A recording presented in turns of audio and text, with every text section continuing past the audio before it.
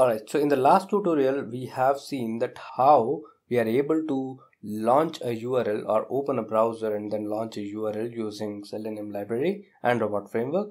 And we've also seen how to close browser or multiple browsers right? So now we need to see what type of elements do we have on a web page and how to access those elements. So anything that is present on a web page a button or a link or anything that is known as a web element. And we have these types of elements present on a web-based application or a web page. So the first type of element is a text box, right? So you must be familiar with your login screens where you have username and password where you can enter something. So that is a text box object. Links you are very much familiar if you go to Google and type something and search for results, you see hyperlinks. So that comes under link. Okay. So on click of that, you would be able to redirect to some other page. So the next type is button. We generally see a lot of buttons like, like submit buttons, login buttons on our web pages. So that is very common. Images, we see a lot of images on our web application. Checkboxes generally look like this and you can click on it to select the item and if you click it again, it would be unchecked. So these are generally for user preferences where we, we can select multiple or single elements, right? So the next one is text area. It is not like text box because text box is smaller one. Text area gives you flexibility to add more text and it is generally bigger in size. So you need to see the tag name in HTML to identify whether that is a text box. If that is an input tag, then that would be text box. If it is text area, it would be having the tag text area. The next one is list box, which appears like this and it allow you to select items from a list. You can scroll down left or right to see the elements and you can do multiple or single selection based on the type of list box. So that is kind of a thing where you have multiple options and you need to select out of those options. Okay? So we have seen so far we have talked about text boxes where we can type something. We have seen links where we have text and a hyperlink which we can click and then we can navigate to some other pages we have talked about checkboxes and we also spoke about text area and list boxes so far. We are yet to cover four different types combo box, radio button, web table and frames. Right? So combo boxes are very similar to list, list boxes. They have kind of similar purpose but it appear like a simple text box with an arrow on the right side. When you click on it only then it expands and show you all the options. Okay, so that is the difference between combo box and list box. List box appears like already open list. Combo box opens all the elements only when you click on that arrow. Okay, so that is the difference between combo boxes and list boxes. And we'll see how to automate these two different things. Okay, next is radio buttons. So when we have choices and we ask user to select one element from the list of choices, we generally use radio buttons. Checkboxes are generally used when we ask for multiple preferences. So if user can have multiple options, they go with checkboxes. If we want that user can select only one element from the list of options, then we have radio buttons. For example, male and female. User can select only one out of them. Okay. Next is web tables. So we see a lot of tables on the pages where we represent our data. So for that we have web tables. And we'll be also talking about frames. So frame is something which we cannot see visually because these are present in the HTML structure. So we'll be talking more about frames because at times it becomes difficult to handle frames. But we'll be deep diving how to select frames and how to perform actions on different elements on frames alright so now we know the types of web elements we have now it is time to understand what type of actions we can perform on a web page. Right, so when we access our google.com or facebook.com, we generally perform a lot of operations. We do login. So at that time, we access the text boxes, we we type text into them and we click on buttons we see a lot of images we read from the elements right so these are the types of operations that we perform right? While automation also will be doing these sort of actions. We'll be typing we'll be clicking we'll be reading some text we'll be selecting from the list or combo boxes. We'll be doing mouse overs drag and drops. We'll be performing mouse actions um, like mouse hover and we'll be performing keyboard actions like arrow keys and something like that. And also along with that we'll be doing a lot of other operations for navigation. For example opening browser that we have seen in the past video and the closing of browser and also we'll be talking about navigation backward navigation forward and all those things right so these are the types of actions that we can perform on a web page okay so now talking about the main subject of this video which is object identification so to perform various actions on various elements of the web page, we need to identify those elements uniquely on that web page. And that technique is known as object identification. So to identify elements on a web-based application, for example, this is the test application that I have created just for automation. So you just need to go to developer tools first of all to see the HTML part of it. And once you understand the HTML, you will be able to identify the elements as well. So if I quickly walk you through the HTML and if I collapse it right so you would be seeing that in this HTML it starts with HTML tag it ends with HTML tag and we have head tag and body tag so if I mouse over to it you see that it selects all the elements of the page. So all the elements which are visible on the page which you can see on the page these all are actually part of body. And something like title of the browser these uh, things come under head right? There are other meta tags and scripting which are available in head tag but anything which you want to automate is available in the body part okay so now if you want to see any element attributes or any element source code on the html what you need to do is you need to see that element here and then you need to click here on the inspector tool that we have in the developer tools which is available on the left hand side. So you click on it and then click on that element which you want to inspect. So if you click on it you would be able to see that piece of code in your window right so here is the element which we are talking about. It is input tag with id as mentioned here and class like this and it is type text and the name is also given. So you would be seeing all these types of things here uh, while you are exploring about the HTML source. And one point to note here is that it has input as a tag name it has id name type. These all are attributes and anything which is present in between as text would be the inner text of it.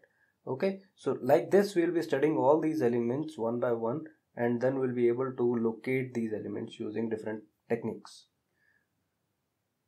Okay, so this is how we would be analyzing the various elements on the page and we would be having various element identification techniques to perform actions on those elements.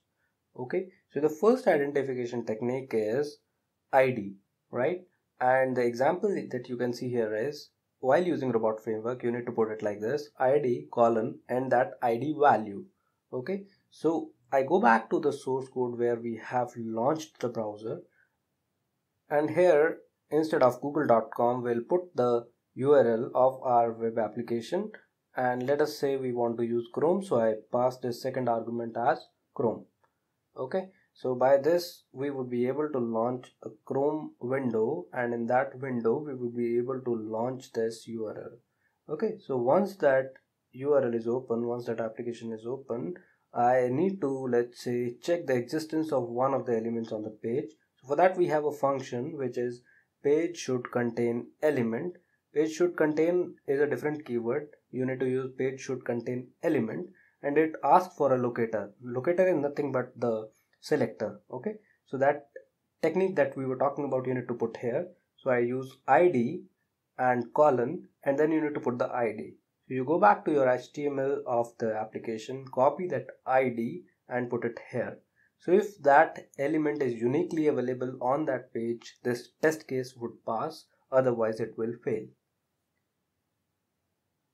So you can see that it is opening the browser, it has opened the application and it won't close it because we have not used close browser function.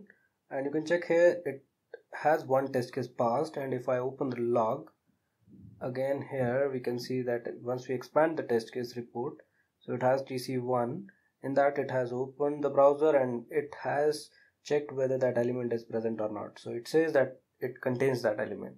So our test case is passed and we are able to use our first locator strategy which is id okay now let us talk about the second locator text strategy or locator technique that is using names. So instead of id we would be using names.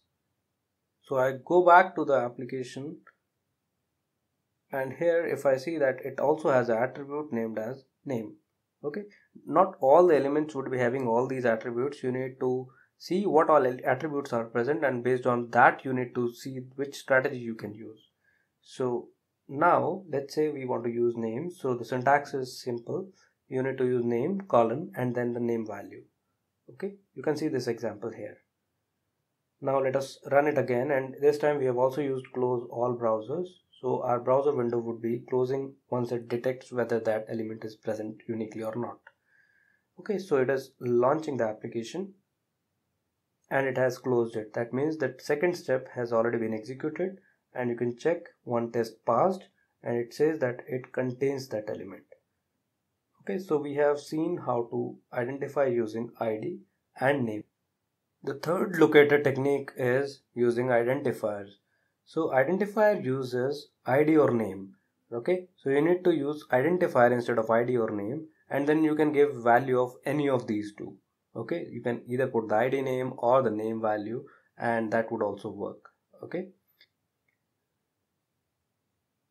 so we can try the same example that we have used before and instead of id or name we'll be putting identifier and in the value we can use value of any of these two either name or id.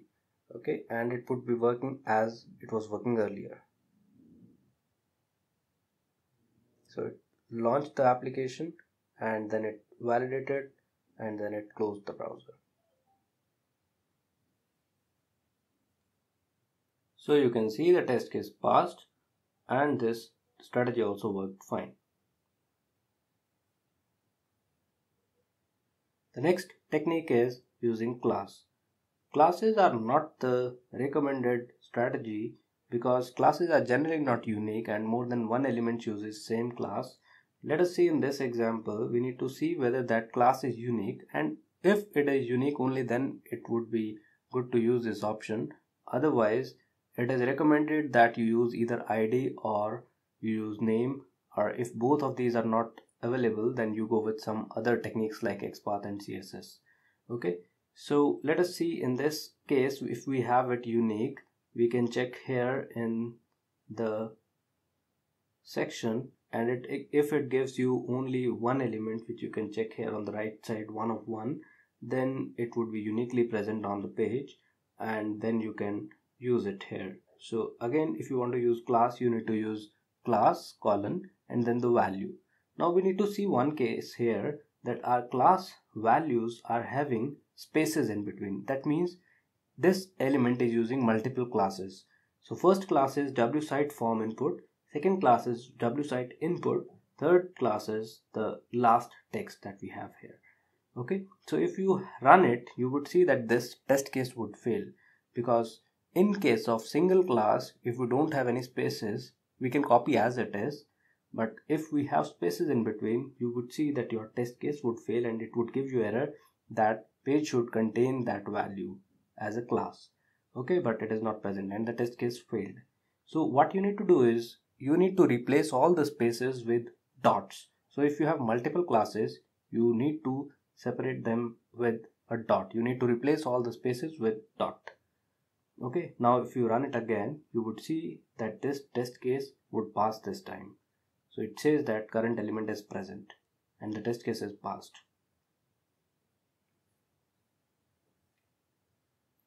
So the next strategy is tag name. Okay so tag names again are not recommended that you use only the tag names because again this won't give you the unique element. Certain tags are unique for example h1 tag h2 tag. Generally not more than one or two elements have these tags but yes you need to validate whether it gives you unique result or not before using it so we try this thing on the body tag because that is for sure going to be unique on one frame application.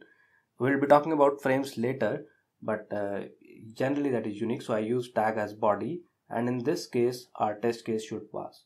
So when we run it, you see that this one passes. Okay. Moving on to the next strategy which is XPath. So we need to give expression. Now we need to understand a lot of rules before we jump into XPath and there is another similar technique which is CSS path which is CSS selector also. For these two techniques you need to understand a lot of rules and in the next two tutorials we'll be talking about these rules and once you are comfortable with XPath and CSS you can either use XPath or CSS if you are not able to find elements using any of the other element strategies that we have discussed so far because not all the elements would be having all these attributes so in such cases where we don't have these helping attributes where we don't have names ids or classes or tag names are also not giving us unique element so for that we'll use XPath or CSS selectors and we'll be deep diving more into it in the next tutorial.